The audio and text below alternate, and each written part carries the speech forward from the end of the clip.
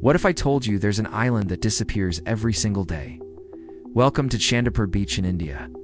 Every day, the ocean water recedes by over 5 kilometers, revealing an entire stretch of land that disappears by nightfall when the tide comes back in. This is the only place in the world where you can find marine biologists rushing to explore a hidden island that's full of life. But be careful if you visit. If you miss the timing, you could get stuck on the island as it disappears beneath the waves. This happens because of something called the intertidal zone, which is a special area where land meets sea and is full of unique plants and animals that have adapted to living in this environment.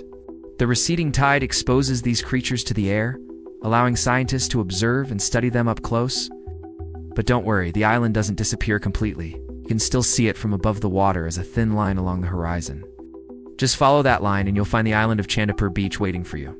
Curious about more disappearing wonders? Subscribe to the channel and tap follow for facts that vanish from the ordinary.